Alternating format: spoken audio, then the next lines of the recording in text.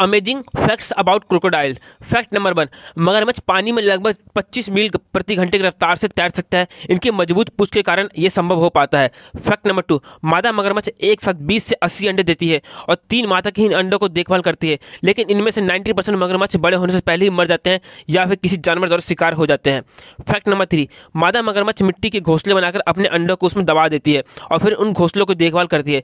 जब तक बच्चे अंडों से निकलने वाले होते हैं तो वो आवाज़ करते हैं और इन आवाज़ों को सुनकर मादा मगरमच्छ घोंसलों से मिट्टी हटा देती है और बच्चों को बाहर निकाल लेती है और अपने मुँह में दबाकर सीधा पानी में ले जाती है। फैक्ट नंबर फोर, मगरमच्छ के घोंसले का तापमान यह निर्धारित करता है कि अंडों में से निकलने वाले मगरमच्छ का लिंग क्या होगा।